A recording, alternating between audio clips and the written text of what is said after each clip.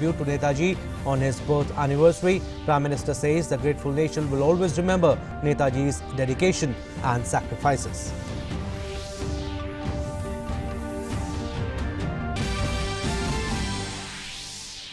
India and China to hold ninth round of Corps Commander level military talks tomorrow. The talks to be held in Moldo, post on the Chinese side.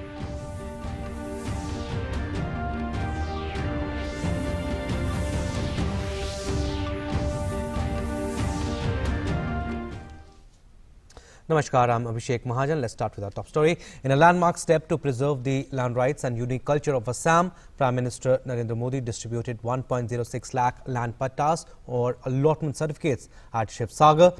The comprehensive new land policy with a renewed emphasis on protecting the land rights of the indigenous people will benefit people in all the 34 districts of the state. The issuance of patta or allotment certificates for indigenous people of Assam has been given highest priority. Assam had 5.75 lakh landless families in 2016 and the central government has distributed 2.28 lakhs land pattas or certificates since May 2016. Prime Minister said that the day marks the beginning of a life of self-respect, independence and security for those getting their due. एक लाख से ज्यादा मूल निवासी परिवारों को भूमि के स्वामित्व का अधिकार मिलने से आपके जीवन की एक बहुत बड़ी चिंता अब दूर हो गई है। आज के दिन स्वाभिमान, स्वाधीनता और सुरक्षा के तीनों प्रतीकों का भी एक प्रकार से समागम हो रहा है। आज असम की मिट्टी से प्यार करने वाले मूल निवासियों के अपनी ज़मीन से जुड़ाव को कानूनी संरक्षण दिया गया। ये काम ऐतिहासिक शिव सागर में जयरंगा पठार की धरती पर हो रहा है Right, Prime Minister Narendra Modi said the fast-paced development of Assam is very important for India as a whole. The way to building an Atmanirbhar Assam is through Atmavishwas or self-confidence among the people of the state. आत्मनिर्भर भारत के लिए north east का तेज विकास असम का तेज विकास बहुत ही आवश्यक है। आत्मनिर्भर असम का रास्ता, असम के लोगों के आत्मविश्वास से होकर गुजरता है। और आत्मविश्वास तभी बढ़ता है जब घर परिवार में भी सुविधाएँ मिलती है और राज्य के अंदर इंफ्रास्ट्रक्चर भी सुधरता है। बीते सालों में इन दोनों मोर्चों पर असम में अभूतपूर्व काम किया गया है। असम में लगभग पौने दो करोड़ गरीबों के जनधन बैंक खाते खोले गए। इन्हीं खातों के कारण कोरोना के समय में भी असम की हज़ारों बहनों और लाखों किसानों के बैंक खाते में सीधी मदद भेजना हो पाया है।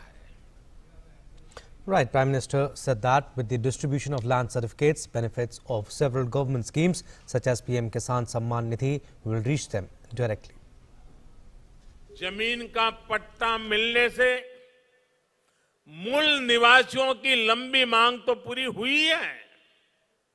इससे लाखों लोगों का जीवन स्तर बेहतर होने का रास्ता भी बना है। अब इनको केंद्र और राज्य सरकार की दूसरी अनेक योजनाओं का लाभ मिलना भी सुनिश्चित हुआ है, जिनसे हमारे ये साथी वंचित थे। अब ये साथी भी असम के उन लाखों किसान परिवारों में शामिल हो जाएँगे, जिनको पीएम किसान सम्मान निधि के तहत हज़ारों रुपयों की मदद सीधी बैंक खाते में भेजी जा रही है।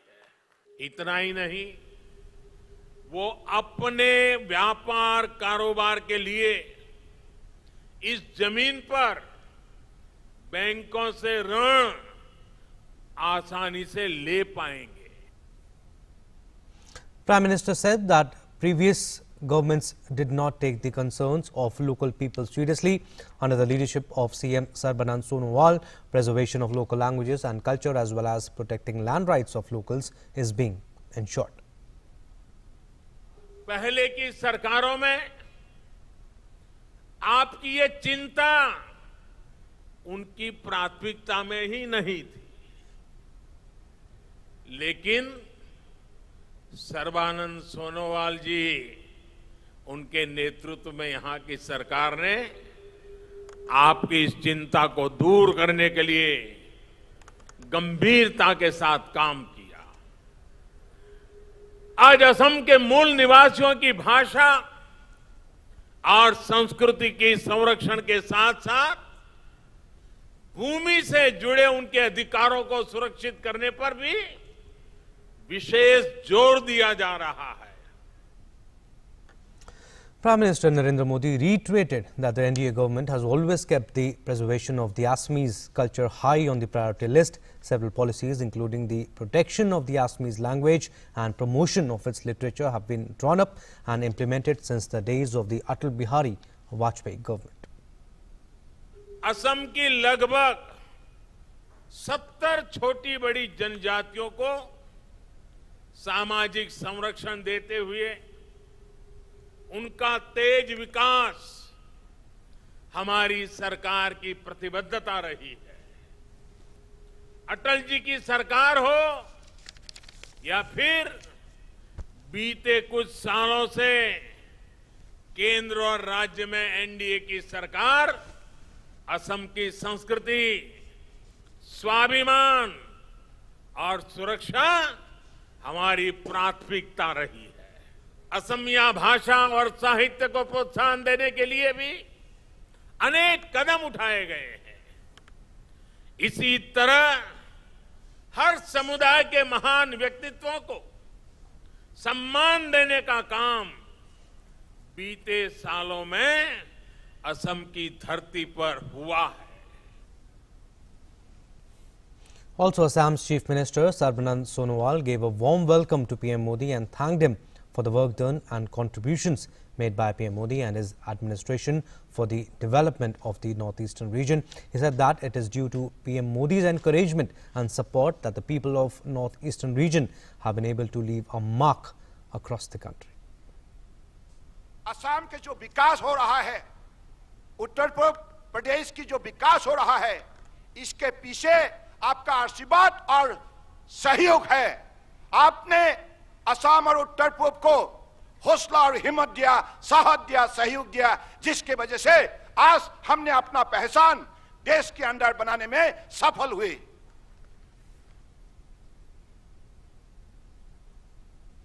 and fondly remembered as Netaji, Subhash Chandra Bose was strong figure whose open defiance and offensive strategies against the British and made him a hero in India. He is regarded as one of the pioneers of Indian independence. Has a report which will take you down the memory lane.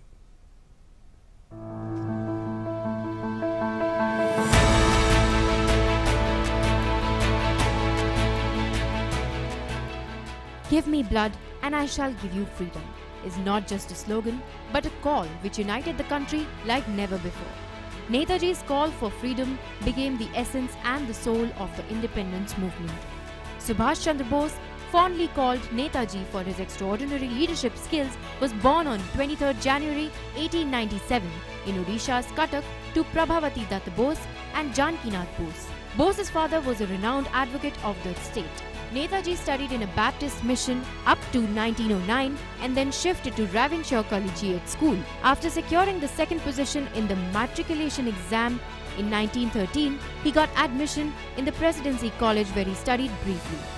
After that, Netaji got admission in Cambridge University to study engineering but came back to India to join the Scottish Church College at the University of Calcutta and passed his BA in philosophy in 1918. Bose again left India for London in 1919 to prepare and appear for the Indian Civil Services examination and came fourth in the examination. However, Netaji was reluctant to serve under an alien government and resigned from the services in 1921. Netaji was deeply influenced by the spiritual teachings of Swami Vivekanand while he saw Chittaranjan Das as his political guru. In the year 1923, Bose was elected the president of All India Youth Congress and also the secretary of Bengal State Congress. In a roundup of nationalists in 1925, Bose was arrested and sent to prison in Mandalay. In a roundup of nationalists in 1925, Bose was arrested and sent to prison in Mandalay. By 1938, Bose had become a leader of national stature and agreed to accept nomination from Gujarat's Haripura as Congress president. In 1939's Tripuri session, Netaji was again chosen as the president. But Bose resigned from the presidentship after some time and organized the All India Forward Bloc after a faction within the Indian National Congress. Following this, Netaji set up a Free India Center in Berlin and organized an army consisting of Indian prisoners. These prisoners had earlier served under the British Army in Africa before being held by Germany, Italy, and Japan. Bose started the Azad Hind Radio as part of Germany's radio service, which first aired on 7 January 1942. A widespread German funded operation, the program was meant to show solidarity with Indians living abroad as well as those still living in the subcontinent. It was here where Bose had called Mahatma Gandhi the father of the nation on July 6, 1944. Netaji Subhash Chandra Bose in July 1943 arrived at Japan controlled Singapore from Germany. From Singapore, Netaji gave out the clarion call, Dilli Chalo. On October 21, 1943, Azad Hind government and Indian National Army announced their coalition. And today, the country celebrates the valor, the victory, the dedication of the man who gave us the slogan Jai Hind.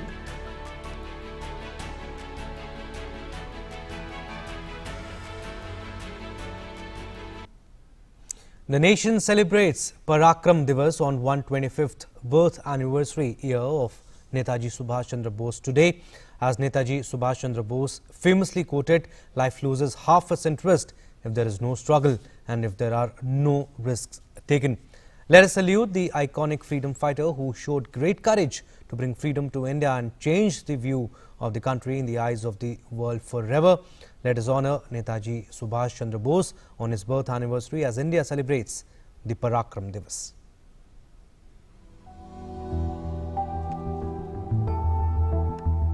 Today is the birth anniversary of Netaji Subhash Chandra Bose. The central government announced to celebrate this day as Parakram Divas or the Day of Valor. On this occasion, Prime Minister Narendra Modi expressed his happiness and tweeted that the 125th birth anniversary of Netaji will be celebrated as the Parakram Divas. In the lineup of different programs that are being organized today by the Bharatiya Janata Party across the country, a special program is being organized at the Haripura village situated in Gujarat's Surat.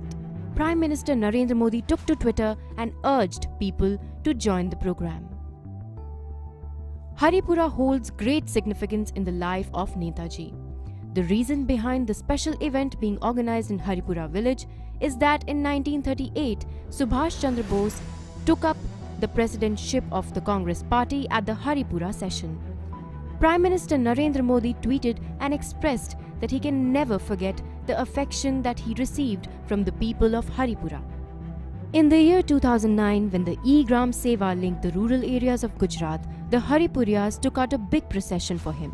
This procession looked as a replication of the one that was taken out in 1938 for Netaji. PM Modi also mentioned that he had paid a visit to the place where Netaji had stayed in Haripura. For the 1939 elections of the President of Congress, Subhash Chandra Bose announced his candidature. Subhash Chandra Bose became the presidential candidate for the second time in the annual session of the Tripuri Congress that year. At that time, he defeated Dr. Pattabhi Sitaramayya, an Andhra leader, and became the president for the second time, winning by a narrow but clear margin. Gujarat Chief Minister Vijay Rupani will be visiting Haripura to celebrate the Parakram Divas and take part in the cultural program there. Rupani will also be visiting the museum that has been built in memory of Netaji Subhash Chandra Bose. Bureau Report, DD India. Also, President Ramnath Kovind unveiled a portrait of Netaji Subhash Chandra Bose at Rashtrapati Bhavan today. The unveiling was to mark the beginning of year-long celebrations to commemorate 125th birth anniversary year of Netaji Subhash Chandra Bose.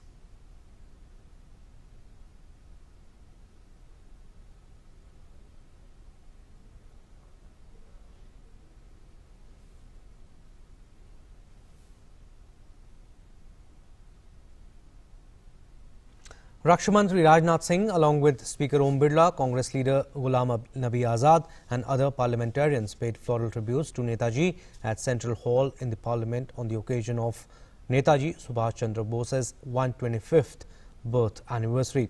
The day is being observed as Parakram Divas.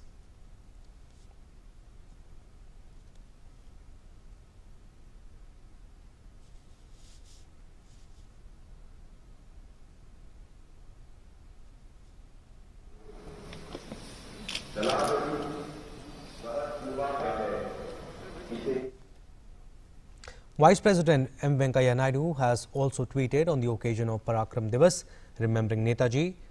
This is what he said, one individual may die for an idea, but that idea will after his death incarnate itself in a thousand lives. Netaji Subhash Chandra Bose. He further stated, my respectful tributes to the iconic freedom fighter and visionary leader, hashtag Netaji Subhash Chandra Bose on his birth anniversary today. He further tweeted that Netaji personified valor, determination and sacrifice. He played an invaluable role in liberating our motherland from the yoke of British rule. The nation will be will forever be grateful to Netaji for his enormous contribution in India's freedom struggle. And on the occasion of the birth anniversary of Netaji Subhash Chandra Bose, Prime Minister said the entire country is celebrating the 125th birth anniversary of Netaji Subhash Chandra Bose today. The day will be celebrated every year as Parakram Divas and Netaji's life remains an inspiration now and forever. मां भारती के स्वाभिमान और स्वतंत्रता के लिए नेताजी का स्मरण आज भी हमें प्रेरणा देता है। आज पराक्रम दिवस पर पूरे देश में अनेक कार्यक्रम भी शुरू हो रहे हैं।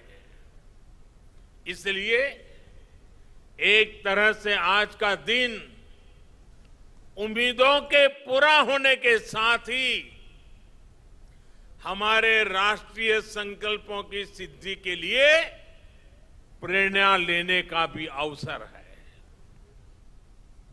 Right, so PM Modi is also visiting West Bengal today to address Parakram Divas celebrations in Kolkata, which commemorate the 125th birth anniversary of Netaji Subhash Chandra Bose.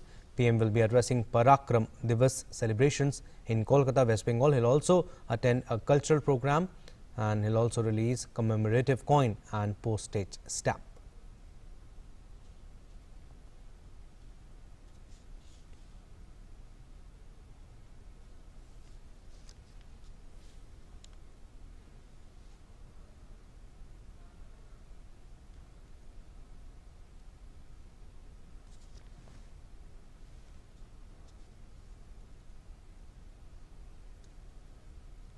Right, uh, to give us to talk more on this, our correspondent Rajiv Bhattacharya joins us on the phone line.